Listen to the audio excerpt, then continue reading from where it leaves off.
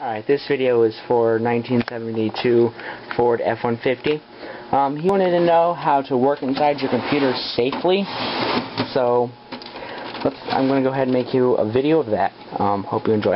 First of all, you want to remove your power cord from the power outlet, your power cord right there, before working inside the computer, and if needed, remove all other cables and things of that nature. First, you're going to need to find yourself an outlet or something of that nature, like say an outlet over here, and touch that, the screw of the outlet, because that is grounded, so it'll ground yourself. And one shock to the motherboard can ruin the whole computer, and yeah, you don't want that happening. So, after you've grounded yourself, and you have your case open, um, you just want to be careful of your surroundings. Um, things in here are very fragile and you need to be careful with them. Um, if you're removing memory modules like I'm showing you here, be careful with them. Try not to touch the uh, golden tabs on here and when you're inserting them make sure that you line it up and double check to make sure it's lined up before pressing down on one corner and the next corner. So that's how to do memory. And in this case, this computer has shared memory. Um, so two cases, uh, two different uh, memory slots. Removing PCI buses, um, things of that nature. I won't remove this one because that is the video card, but this one is a modem. Um, be careful as well. Be careful of the uh, transformers and things of that nature on the board. Try not to bend anything. And the same as well, try not to touch the tab. And when you insert it, make sure it's lined up before you press down firmly to make sure that it's seated properly. And if you have a cover such as this computer, push that and uh, make sure that it's locked in place, which this one doesn't want to do.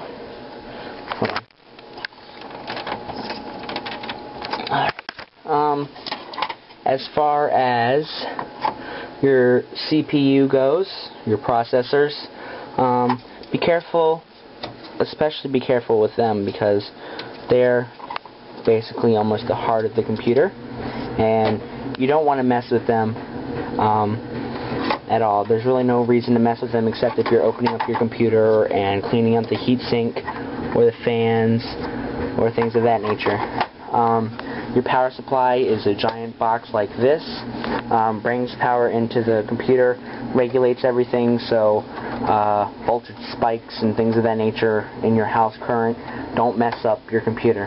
Um, if you're, you're removing drives, um, make sure to pull the cable out um, most cables will have, if you're using an older style version of cable like this, um, not like this, which is the newer type of cable, um, pull it out. They usually have tabs on them. And pull out the power supply, just giving it a rocking uh, motion. And with these old Dell computers, you just pull these tabs out and then you can uh, remove your disk drive if needed. Right here's the disk drive for this computer. There's actually two of them, but this one is a uh, who makes this? Uh, 2004 was manufactured, so made in China. But you know, if you're cleaning off your computer, clean this off to um, things of that nature. And the same is for putting them back in. Make sure the cables are out of the way. But be careful not to bend your cables the wrong way or overbend them. Make sure you insert your whatever you've removed in the right way back into the computer. And the way you know if you've got it right is it slides back in this just like this one did and replace your power cables and give them a firm push to make sure that they're seated properly. Um, some cables will be double connected cables such as this. So let me just show you guys. Um, such as this. So they'll have two wires coming out and things of that nature. So just be careful and aware of that. And make sure that you seat all cables that you remove properly. Um, if your computer has a floppy disk drive, um, such as this, pull the tab out like this, pull the power cable, and if needed, um, just pull out your floppy disk reader like that and make sure that you insert it back in properly. Make sure it clicks if you if your computer does that.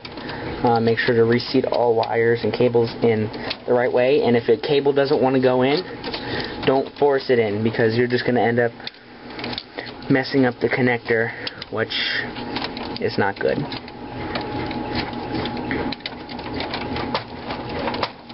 Um, hard drives be especially careful with your hard drive. Why doesn't this hard drive have a power source? Oh maybe it does. I just pulled it out. Um, same thing for your hard drive. Be careful with it because it has all the data of your computer stored on it and these are one of the most th the one things that you want to be very careful of. Um, so be very careful with your hard drives because if you mess up something then the computer won't be able to start up and programs and pictures, files, and things of that nature um, will be stuck on the disk, which you'll have to pay a professional to retrieve off the disk, um, which can be pretty pricey. So be careful. Oh crap! Be careful with it. Make sure you put all the cables that need to go back in, back in their proper spots. Um, and make sure that if you're going to add a hard drive or floppy disk drive that you check with your manual first and make sure that you're doing it right but this is just standard procedure for computers. Um, make sure wires don't get caught up in your case. Um, if your case does look like this be careful. Um, make sure everything's seated properly and that you're being safe. Um, main power to the motherboard this cable right here. Um, just make sure all when you're coming out to work on your computer that if you're inserting something like this one you can insert another hard drive um, into the bay.